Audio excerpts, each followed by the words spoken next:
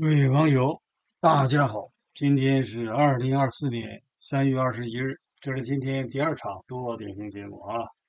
接着给大家继续谈一谈啊，你们现在如果有时间的话啊，建议你们重新读一读毛泽东当年一九六六年六月在湖南滴水洞当中写给江青的信。这个毛泽东死了以后，这个毛泽东生前肯定没想到。他这些这个部队里边这些和他一起打打杀杀，战场上叱咤风云的啊，那对毛泽东非常忠诚的，这革命战友们竟然把他老婆抓了，是吧？而且老婆最后死在监狱里，毛泽东没想到吧？所以这个事儿对习近平来讲打击是很大的呀。说习近平现在给我的感觉啊，非常害怕呀。一个是你看这个出来讲话的时候，在湖南桌子上还是两个水杯的。那证明身体的慢性病很厉害，呃，疼痛发作的时候，这个面部表情扭曲啊，那就是，呃，很难忍。咱们不太清楚什么病啊。不过从他今天发这些视频看，似乎他现在的身体状态状态比当年毛泽东写信的时候好得多。这样咱们也必须得承认啊。呃，一个是健康的忧虑，因为他知道，反正是你再怎么权力基于身。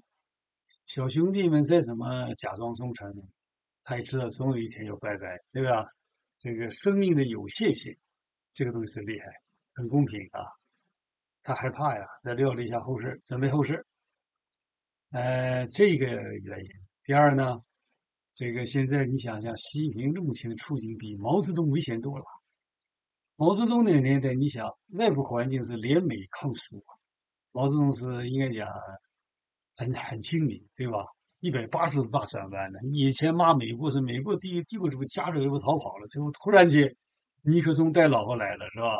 在这之前是这个，呃，基辛格明明在假装在非洲访问，实际偷偷溜到中国来了，对吧？所以政治舞台上一些政治人物往往都是些骗子啊，所以你少相信他们的话啊，他们根据政治的需要嘛，最后小球转动大球。就是那时候毛泽东的外部环境比习近平现在好多了。习近平现在的环境我不用讲了，不用复述了，你们都知道。用一个词儿来形容最准确：四面楚歌，兵临城下，对不对？对内呢，哎，现在从表面看，他还没像毛泽东那么危险。为什么？毛泽东那时候啊，就反毛泽东这些两面派很多是军头，现在有军头，但是有几个军头呢？有人家叶剑英啊。就是邓小平那些派系那些人的势力没有啊，对不对？但是你不要忘了，呃，由于中共官媒现在撒谎，咱不太清楚军队发生什么事儿。但是肯定火箭军这是一伙，这刘亚洲是一伙，呃，郭伯雄、徐才厚是一伙，方辉、张扬是一伙。你想这多少？云集起来也够老习呛的啊！老习害怕呀，所以他为什么在跑到湖南去？极大的恐慌啊，而且。他这个毛泽东时代对他刺激太严重了啊！他当然，我上一场留给提供是滴水洞，他倒不一定到滴水洞啊。滴水洞现在是旅游景点了吧？我不太清楚啊。反正毛泽东藏在那个地方，为什么？就怕林彪这些两面派暗杀他。这当时他就躲东躲西藏，怎么看出来的呢？你读一读叶永烈的书，其实我是以前早就看了啊。昨天为了做这个节目，就把这个文章拿出重新看了一下。毛泽东当时写给林彪的信，给的江青的信呢，表明毛泽东晚年只相信他老婆，谁都不相信，就和现在习近平只像彭丽媛一样，只相信彭丽媛啊。所以，我推测习近平到南非去开会这两天的权力是交给彭丽媛在主主掌。我认为啊是这样的，习远平他们保卫工作在习远平在负责，不是什么钟少军，也不是什么王晓啊。呃，毛泽东晚年写给江青的信，在洞里写的时候，用一些暗语，都不敢直接提林彪的名字，你就想多么危险。而外界当时看《人民日报》新华社，你怎么能看出来？看不出来吗？呃，凡是我这个年龄都知道啊，那时候吃饭都得给毛泽东祝福、林彪祝福才行啊。林彪先进党章了，是二号领导人，每当出来穿小板鞋，手里拿语录本。那时候小板板鞋是卖最好的，两块八一一双，咱买不着，咱买不起。就是那个布的鞋啊，现在都不当回事我现在塌了这个鞋，就一个朋友送的，送一个家，从国内 送一个塌了的，这个很很舒服。就小板鞋。哎，这板鞋当年可厉害。这个实验我给你们讲讲民俗哈，这个衣服饰的 事儿。呃，我要告诉你，他给江青给毛泽东给江青的信是这样讲，他说，呃，六月二十九号的信收到，因为在这之前，毛泽东和江青是保留信件交往，不要现在有 email，email 不安全啊，就是鸡毛信是最安全的。他说是你还是照魏存两同志的意见在那里，就在上海待着。江青在上海，他俩分居啊，啊，还有这高层斗争非常危险。我就跟你讲吧，你看表面讲一个人瞪眼都是假装的，那有长小九九，搞不好突然间就抓起来就死掉了。西平吓死了啊！你看毛泽东当年出现就这个，他魏和陈是谁呢？魏是叫魏文博，魏文博，陈是陈陈佩显的，这都当时的大佬，都是中国官场的人，我们耳熟能详能详的人物啊。那是我十来岁人家。记忆很很记忆犹新。他说：“你要按照这两个人的意见，就在那里上海呀住一会儿为好，你就不要过来找我。”啊，他说：“我本月有两次外宾接见，他两他指这两个接两次接见，一个是见尼泊尔国王王太子和亚非作家紧急会议的代表观察员，他有两个外事活动，就告诉江青了。”这说明是毛泽东到晚年临死之前最信任的不是什么华国锋，不是什么王洪文，也不是什么其他那些人杂七杂八的，更谈不上邓小平当时都关起来了。最主要信任就是江青他老婆，这就是独裁统治惯有的特性，就是这样，一定是这样。那乔塞斯会不是带他老婆临被被枪毙之前，也是带他老婆外访刚回来，是吧？一九八九年嘛，最后就嘣一声打死了。呃，乔塞夫他老婆捧着那士兵啊，就枪毙的士兵讲：“你不要打我，我是爱你们的母亲呐。”那士兵说：“你是我们母亲的敌人，你杀了我们无数的孩子。”咣咣开枪！你看这视频呢，我看了好几遍啊。开玩笑，不是我在这编故事，你们看了啊，下场是很悲惨的。我独裁统统治者吓死人了！我告诉你，你看了那一段，你就知道为什么习近平现在。搞成去中国这个样子啊！不听好人劝，吃亏在眼前啊！你要是我在西雅图发那个视频，如果有人给习近平看了，习近平当时按照我的做，就没有今天了。我就跟你讲了啊，我是很善意的。我跟你讲，你不来不要来整我，你整我恰恰错了。我这个人最好的，我跟你讲，我无党无派都是很善于帮助别人。我帮你，你你不听我，我没办法。你看我在西雅图接受。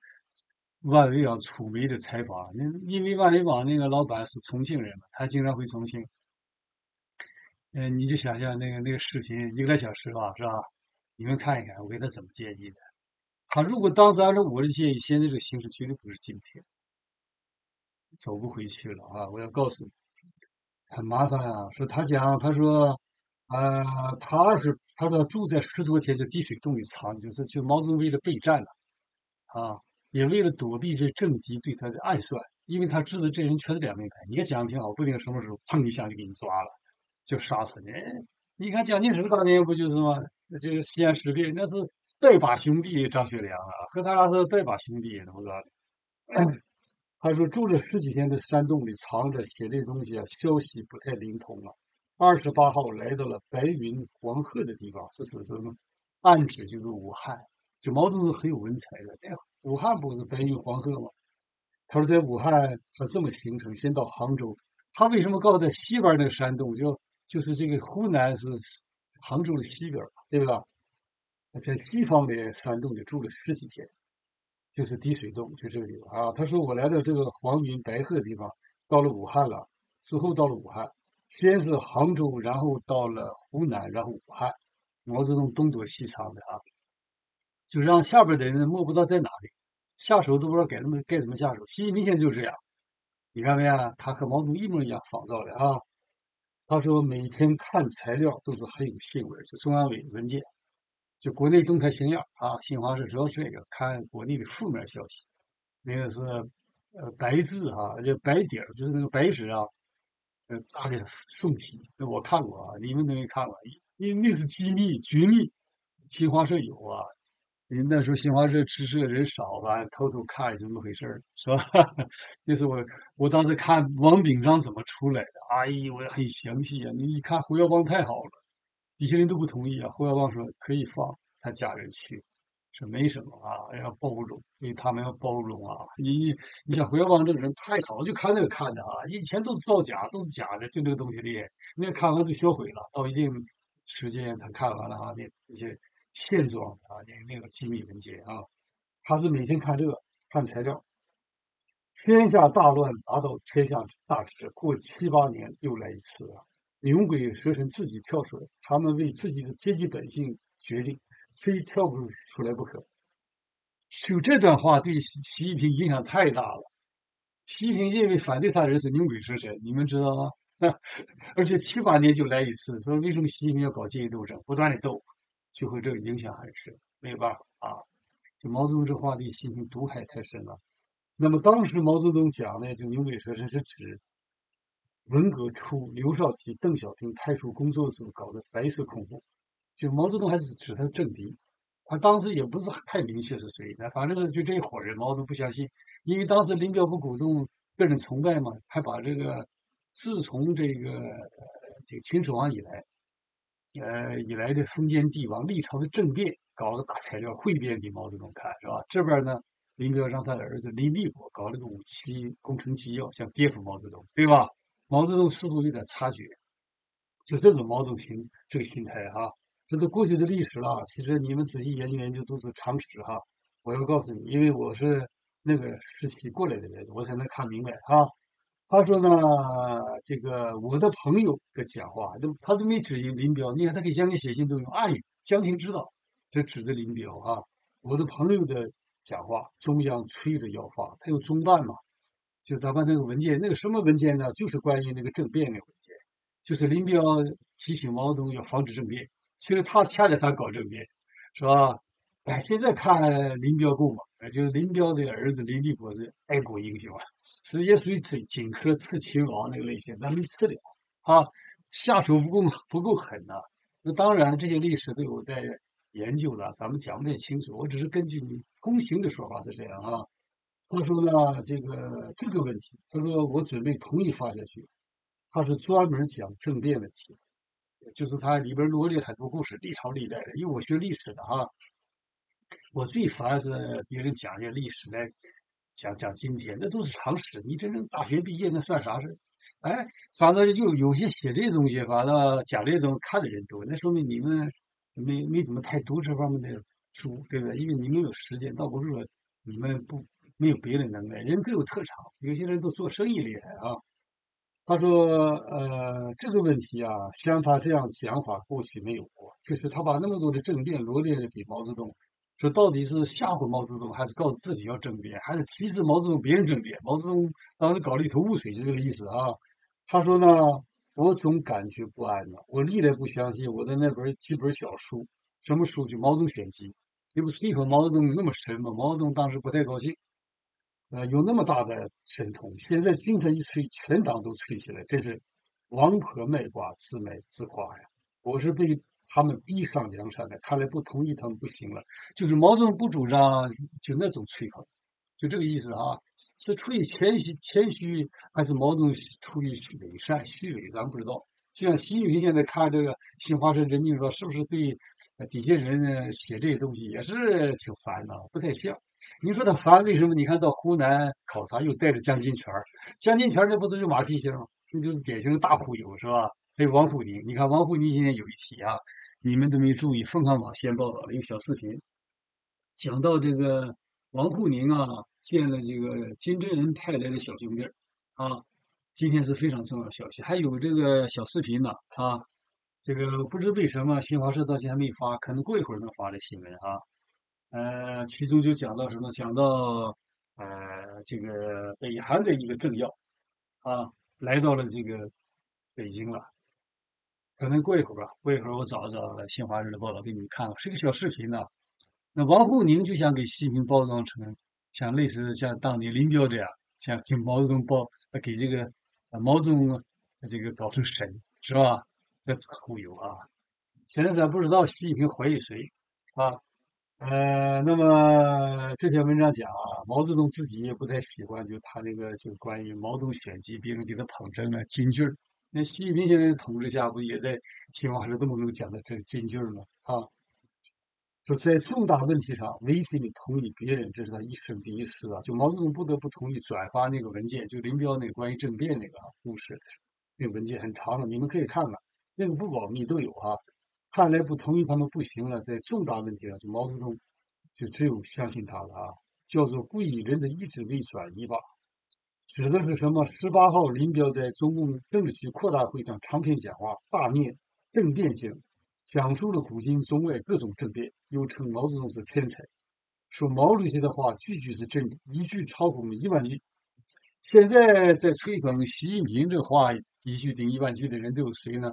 都有李强、丁薛祥啊，呃，这个何立峰，就底下这一伙人，对不对？那到底是谁？咱不清楚啊。他说，呃，因为毛泽东太有学问了，他每天读这个就是那个线装书啊，这个脑子读乱了。没讲话的时候都是引经据典，都是古代那些历朝历代的故事。呃，本人在监狱里也看过了二十四史，看到了唐朝，没看完放了啊，这很可惜。要再不放，再再有个五六年就看完了。那个看可是认真看啊。呃，这里他提到这什么晋朝，晋朝知识分子啊和帝王之间角力是最厉害、最有精神品格，就是晋朝的知识分子。你们看很有意思那些故事啊。皇帝来了，这些知识分子在打铁呀，光个膀子咣咣砸铁，打马掌，人理都不理皇帝，那挺有意思的。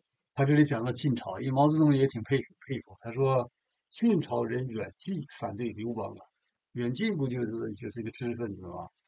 哎呀，你那个那个，你看看晋朝的历史，你看完以后，那哎，那知知识分子的精神品格哈。他说他从洛阳走到成皋，看到事物英雄。遂使数字成名，他瞧不起刘邦，说那不就是世上没有英雄，你才你才了不得，成了第成了这个英雄人物了，是吧？事无英雄嘛，遂使数字成名，就是意思你是矬的拔高个吧，没啥本事。就像现在，呃，你李强怎么当上国务院总理的？是是因为世上没有本事，不是没有本事。有本事，习近平不用，是不是啊？有本事呢，胡春华比他强多了啊！还有陈春兰都挺行的。你包括韩正，如果当总理，现在比李强强多了。但习近平害怕不忠诚啊，是吧？你看他挺挺有意思。他说，鲁迅也曾对他的杂文说过同样的话。人们不说鲁迅文章写得好吗？鲁迅也不这样认为哈。他说，我跟鲁迅的心心是相通的，我喜欢他那么坦率。毛泽东比较赞成鲁迅，那是因为。呃，鲁迅没批评过毛泽东，因为鲁迅那个时候，鲁迅被共产党欺骗，还对共产党的政权抱有幻想，是不是啊？要真正鲁迅回到建国以后，如果活着的话，早也是抓到监狱里去了，文字狱吧。你看毛泽东以前建国之初是挺佩服刘亚子的，是吧？刘亚子是诗人，诗写得好，毛泽东很爱才啊，觉得他有才能。那么这个呃，刘亚子也是。恃才傲物，人都是这样，有点才能是眼皮往上翻的，是吧？我现在回想我自己做的不对啊！我在《大连日报》工作的时候，也是年轻嘛，当时也那么发表点文章，也觉得了不得啊，自以为挺有本事的，也是眼皮往上翻的啊！现在感到非常惭愧，所以那个《大连日报》同事们，呃，大部分当年和我共事的人，对我持有负面的评论。其实也没什么事儿，就是就牛逼哄哄。确实，我见谁都不搭理。那因为什么？我觉得我的能力是最最大的能耐啊。所以那党支部书记于清志也看不上我，从来没跟我笑过哈。你知道后来我都到文文茂工作了，哎呀，开着奥迪的轿车的时候，偶然碰到了于清志，于清志一下对我笑得可灿烂了，握着我手使劲摇。我心想，你这不在报社那个走廊那么摇？那摇我早就入党升官当总编、副总编了，是吧？我现在想，就是这个人浅薄，往往就这样啊，恃才傲物。其实他做的不对哈。呃，我这个坐牢出来以后，这个人就变了，因为我这个在监狱什么人都打交道，我才知道一个人最重要是要和群众打成一片，是吧？而且要学会见人讲人话，见鬼讲鬼话，是吧？哎，呃，这个就我跟你们开玩笑啊，就是那个远近这些人就是那样，就特别的傲慢。有水平啊！刘亚子，你看毛泽东当时也挺佩服他，建国之初，后来随着权力的攀升，文革以后啊，就完了啊。就知识分子他也都不喜欢了啊。其实毛泽东年轻很崇拜胡适啊、傅斯年这些人呢，就知识分子呢，有学问啊，这个满腹经纶、出口成章啊，著作等身，毛泽东很佩服。后来也不佩服了。他就讲到那个鲁迅，呃，他说呢，解剖自己，往往严于解剖别人。在跌了几跤之后，我也往往如此啊。就就是一九五八年，轻信的亩产万斤粮，毛泽东反思，毛泽东比习近平强多了。毛泽东有悟性，习近平这个人到现在为止他没有悟性啊，到现在为止他还没说。呃，做检讨，八千万八千人大会做检讨，其实他应该做检讨，说我做了呃三年风控，看来我做错了啊，这个呃要应该去检查。他没有，他没有自知这习近平，我发现呃他赶不上毛泽东一万分之一，是不是啊？说是你看他自己讲的，毛泽东自己讲的，你看五八年轻信了亩产万斤粮，他的意思他叫底人骗了。呃，全面冒进，大跃进失败。六二年七千人大会自我检讨，就指这些事儿。他就讲呢，他跌了几跤之后，他开始跌跤了。可是同志们往往不信，我是自信，有些不自信。我少年时代曾经讲到，自信人生二百年，会当水击三千里，可见神奇多了。呃，我对这个毛泽东这句话记忆犹新。为什么？就是就那时候我这年轻啊，就是少年时代的时候，也是有点理想。现在想起也是。精神有点是恍惚吧，就是说，就是，也是志大才疏。我现在想，那时候我的好朋友不就张江嘛，就我们俩就在一起读这个毛主席著作这个就这篇文章的时候，当时也是内部传达了嘛，咱们有手抄本啊，看完以后我们俩也研究过，呃，也记忆犹新呐，就人生。呃，自信人生二百里，会当水击三千里，准备干一番事业。那是我和张江两个，呃，锻炼身体啊，还吃那蚕豆锻炼身体。呃，张江他家就在那个这个大连那个劳劳动公园的西门，西门对着那个日本房就他家。他爸爸是那个医学院的教授，心理学教授啊，心脏心脏专家很有名。我经常到那去看他，他在那练哑铃，全全是块儿啊。他一当年也想干一番事业啊。呃，还最有意思是什么？江青临困的垮台那几年，他写信，呃，咱们俩一块策划写信，他写信骂咱骂江青。但是咱们特别幸运，因为那时候江青已经就完蛋了啊，基本快完蛋了，就那个信没出事儿，后续也没有什么，呃，没有什么回响啊。要是有回响，咱就完了，咱就得死了啊。咱想你想起那时候写啥，大连话写啥？你问你问张江，张江不会不想不承认，对不对？后来我和张江一块下乡，在那个他是也是新津县的啊，我们俩到皮口蹬那个牛眼驼子啊。呃，当时我们俩作诗，你做前，我做前两首，他后两首。我做那两首是迎风指点牛撵岛，三山无水化尘埃的。我做后两首，后两首是这样。前两首是张江做做的记不住，你问他吧。张江最大的官当成呃李长春办公室主任是吧？这个最先是跟那个跟那个这个书记这个曹伯存到广西啊，是办公厅主任，然后就推荐给李长春当李长春办公室主任兼这个省委宣传部部委员。就在那个期间，我给他通过这电话啊。其实当时我想找他叫他帮忙，我给我调到广西或者是广东就没事儿，不行就不能整整了我了。他他接电话了。让他告诉我，他说他开会，唯平你快点讲。我当时就不高兴。其实我再有点耐心就好了啊！我要告诉他，我说我出事了，求你办个事儿，你一定要借我。他可能也能接，因为咱俩是发小，你想那关系。我没编一丝一毫，你你问他啊，他后来最大的官就是中科院副院长。他也年轻的时候理想是成郭郭沫若那个角色，最早最早的郭沫若角色啊。人家他文章写得好啊，张江文笔特别好。评论写的太棒了啊！当年在新津县的文人圈子当中，呃，他写评论是好在就是那个这个刘遵立，刘遵立过世了哈。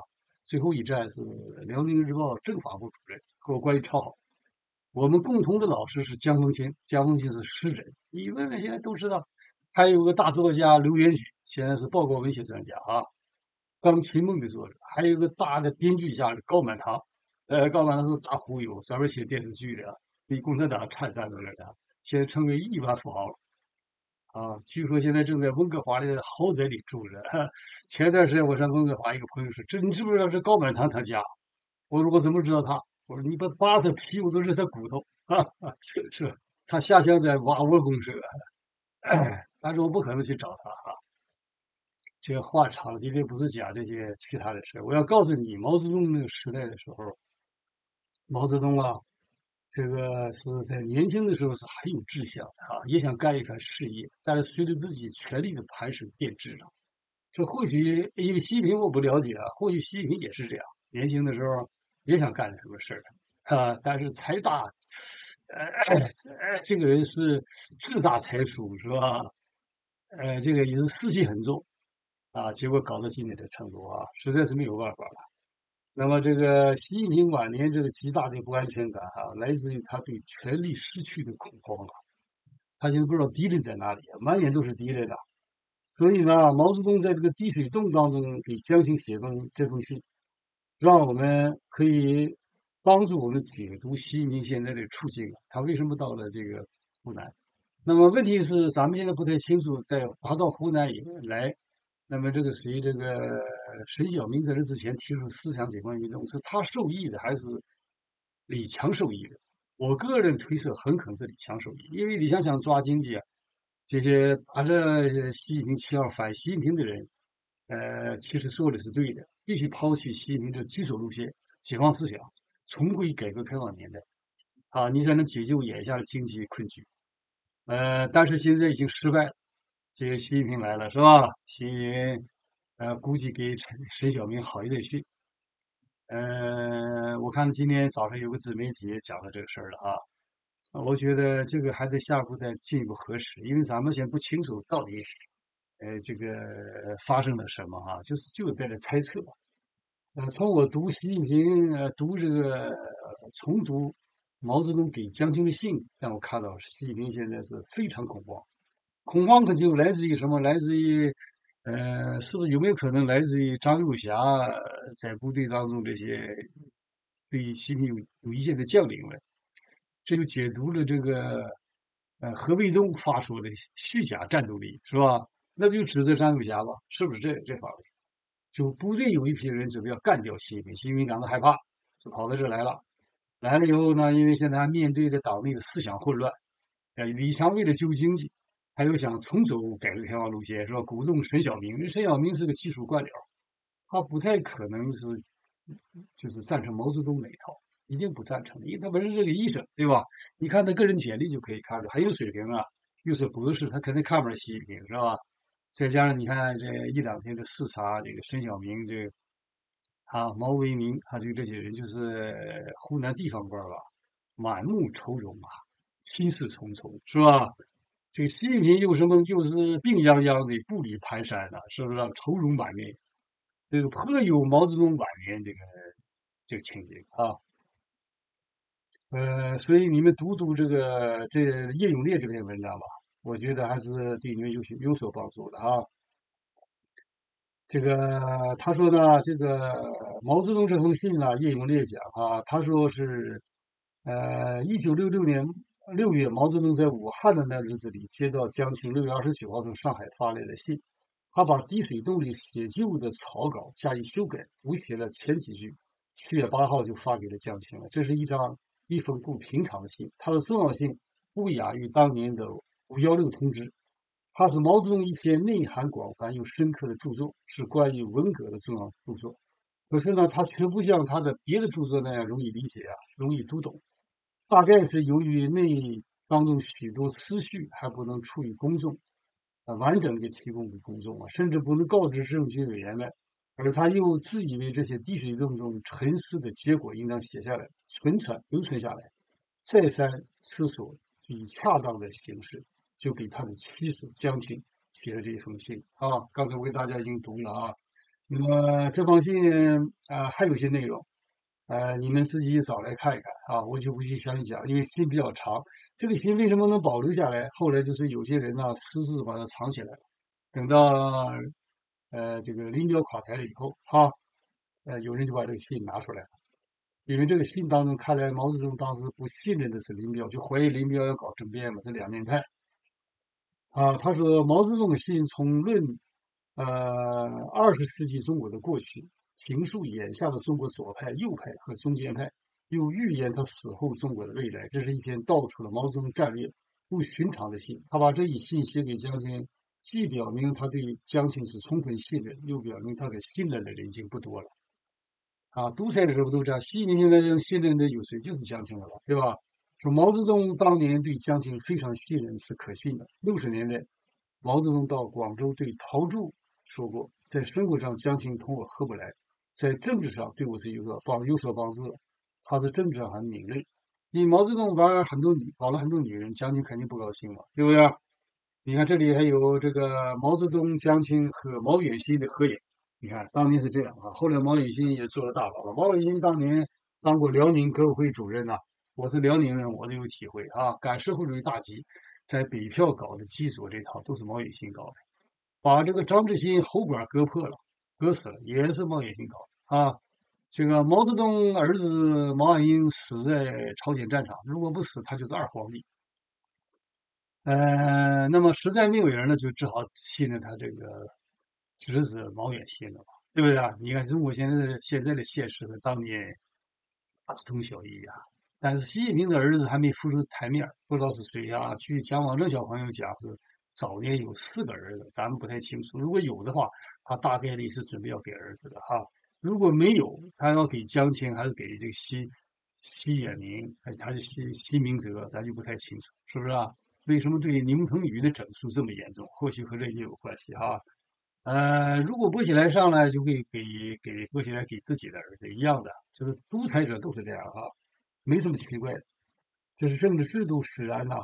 那么问题是接下来中国会发生什么？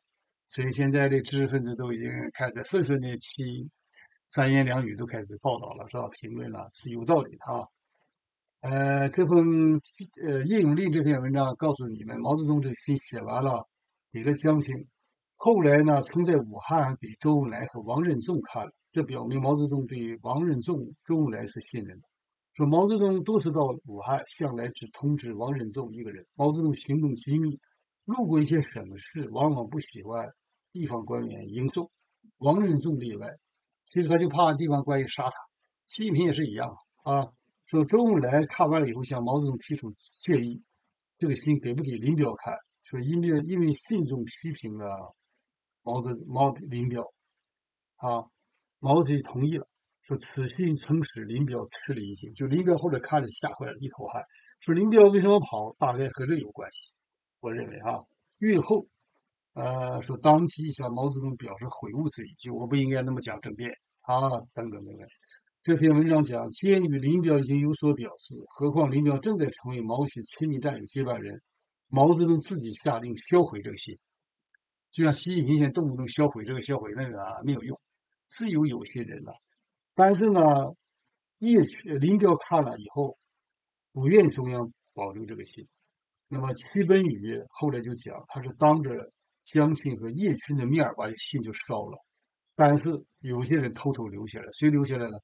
周恩来、王任重、陶铸这三个人，两面人也是两面人。他没有留着，留了自救，等毛死了又出事儿，搞事儿，就说。